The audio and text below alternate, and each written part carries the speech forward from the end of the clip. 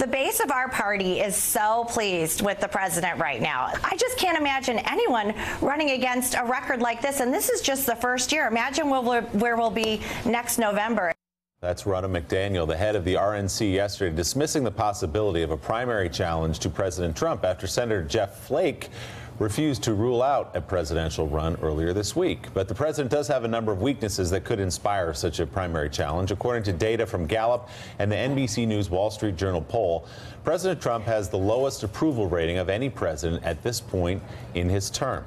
Democrats currently enjoy an 11 point advantage in who Americans want to see win control of Congress in the 2018 midterms, and the Republican Party has suffered a string of setbacks, including the loss of a U.S. Senate seat in Alabama and at least 14 state legislative seats. Republicans lost the Virginia governor's race by a larger margin than in 2016 in the presidential race, while suffering local defeats in what had been their Pennsylvania and New York strongholds. And Gallup found the number of self identified Republicans dropped five points to 37% of Americans. Joining the table, we have former governor of Vermont and the former chairman of the Democratic National Committee, Howard Dean. Governor, good to see you.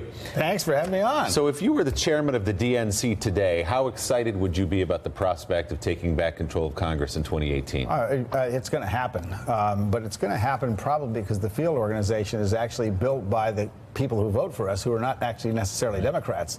I mean, we won Virginia. The DNC did a good job in Virginia, but we won Virginia because of groups like Run for Something and Indivisible and Color of Change and Voto Latino, which is an incredible ad. Uh, and so the question is, how do you coordinate all these groups? Because these kids don't believe in institutions, but they're unbelievably powerful. Do you worry at all that um, the, the, let's take Alabama for example, it might have been a case of a terrible candidate winning, uh, losing, and that's why the Democrat took back the seat. In other words, is all this enthusiasm at the grassroots going to translate into sweeping electoral victories? it will. victories? Um, in Alabama, it was interesting. Is uh, black women voted 98 percent. Yeah. Uh, for uh, Doug Jones. Doug Jones is going to be a good senator, and he's going to be an incumbent. So he still has an uphill climb, but I think he can hold that seat.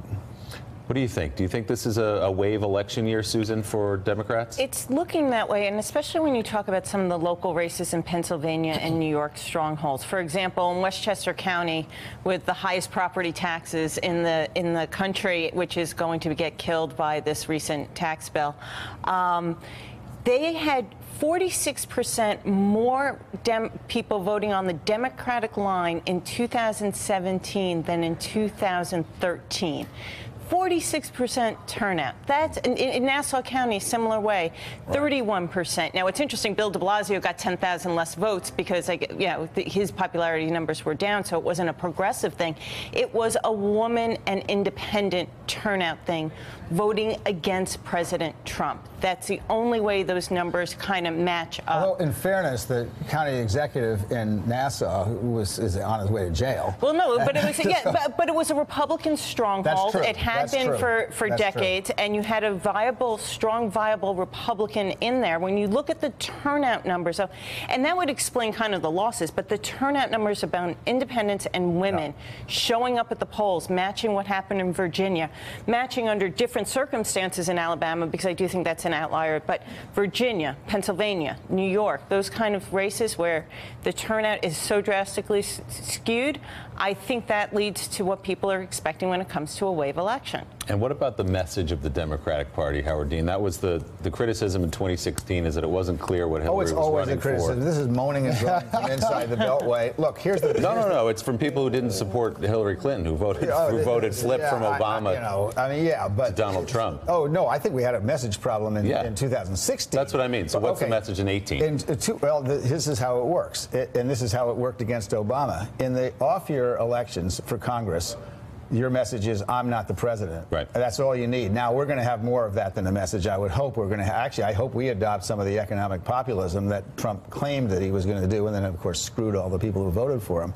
But um, in 2018, not being Donald Trump is enough. And the corruption, the Republican Party is going to get nailed with corruption because of the tax bill. 14 senators, Republican senators who voted for that tax bill, are making a million dollars or more, sometimes up to $10 million off a provision that was slipped in at the last minute by Orrin Hatch.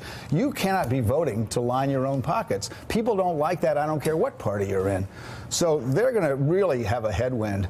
In 2020, you cannot win the presidency without a positive message about what you're going to do. I don't care how unpopular.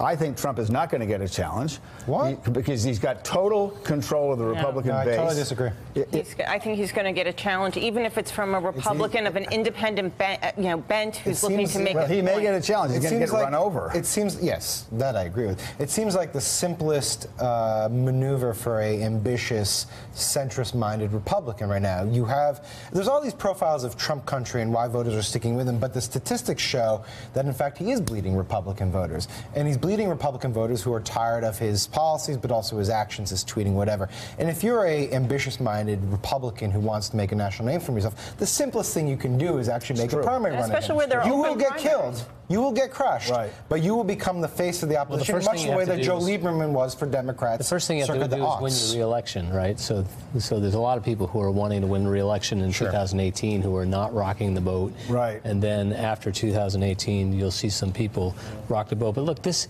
this sets up in every way. Uh, if this is going to be about Trump, then it's going to be a Democratic year Uh, because the the party in power usually loses seats. It's going to be a Democratic year. Um, so you know. We'll see, but uh, Americans like divided government, and I think they will check the president. So let's talk about Howard, where the progressive movement is right now. As somebody who so uh, has represented it and been invested in it from the Women's March forward, it has been a year of energy for progressive groups. How does that translate going forward? Can they keep up that energy? Well, I actually think the progressives are in the uh, in the process of informally taking over the Democratic Party. Um, I think the country has moved to the left. It's shocking to me, but a majority of Americans think Medicare for all is a good idea. I mean, and that, frankly, Bernie gets a lot of credit for that. I don't think he's going to be the next nominee, but he could be. Um, but I, because I'm very much for somebody who's younger, I think my generation's got to get the hell out of politics, start coaching, and, and start moving up this next generation, so that who are more, I think, fiscally sane. Neither Republicans or Democrats can claim they're fiscally responsible anymore after what the Republicans just did in this tax bill. And this generation, this young generation, is going to pay for that if we don't get the hell out of the way. So that means no Bernie Sanders, no Joe Biden, for example. They running? may well run. I'm Yeah. going to be supporting somebody who's younger in the next generation. Who I don't know who it is yet, but I'm going. I was going to say, do you have anybody in mind yet? It's too I, early. there- I think there's a bunch of people that are terrific, and there's more people that aren't on my list who are terrific. Uh, Chris Murphy from Pennsylvania, I mean from uh, Connecticut. Um, uh, Kamala Harris, of course. Kirsten Gillibrand. Um, I mean, there's there's Eric Garcetti from Los Angeles, a bit of a long shot, but Trump's broken the rules. You now mayors may have a shot, and there's look, there's tons of other young people. We were joking before the show, Sam and I. I, I, I think, or this segment, and I wouldn't be surprised if you saw 17 people running. yeah. Yeah. Look a little bit like the Republican primary last Well, time hopefully around, there won't right? be any people who aren't who are just you know in there for the fun of it. Governor Dean, always good to see you. Who end up winning? Yeah. Right, you wouldn't have any. Right. Touche. Become president. Governor, good to see you. Good luck with that cold in Vermont up there today. Thank you. Coming up next, New York City marks a major milestone, something not seen in generations. We'll explain that next. Thanks for checking out MSNBC on YouTube and make sure you subscribe to stay up to date on the day's biggest stories. And you can click on any of the videos around us to watch more from Morning Joe and MSNBC. Thanks so much for watching.